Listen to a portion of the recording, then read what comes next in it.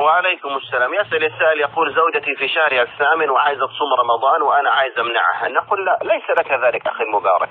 الله عز وجل يقول وتعاونوا على البر والتقوى ولا تعاونوا على الإثم والعدوان. ويقول ومن يعظم شعائر الله فإنها من تقوى القلوب. فأيضا تعظيم الفرائض والشعائر فإنها من تقوى القلوب. فأعنها واتركها تصوم. وإن هي تعبت فالحمد لله فمن كان منكم مريضا أو على سفر فعدة من أيام أخر.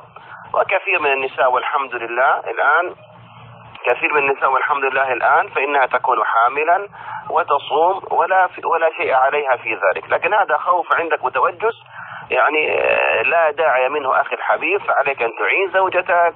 وأن تعينها على الخير. يقول النبي عليه الصلاة والسلام عند الترمذي يضحك الله من رجل استيقظ من الليل فأيقظ أهله فإن لم تستيقظ نضح الماء في وجهه فصلي جميعا. هذا إيش؟ هذه إعانة.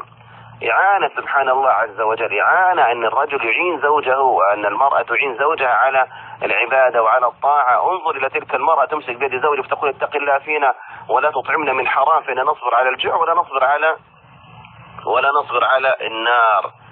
يعني فاتق الله أخي الحبيب واترك زوجك تصوم إن شاء الله عز وجل فإن تعبت فالحمد لله قد جعل الله لها فرجا ومخرجا فقال فمن كان منكم مريضا أو على سفر فعدة من أيام أخرى لكن من البداية أن تقول هذا هذا تخرص وهذا لم يكتب على, على عليه من أي أدلة إلى غير ذلك وفيه أيضا من ما فيه من المحاذير الشرعية.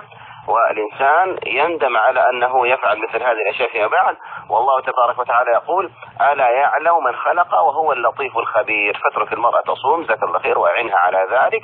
فإن هي تعبت أفطرت ولا شيء عليها إلا أن تقضي بعد ذلك. إن شاء الله لما آه، تجد فيها الصحة والعافية. والله أعلم. وصلى الله عليه محمد وآله وصحبه وسلم. وآخر دعوانا أن الحمد لله رب العالمين.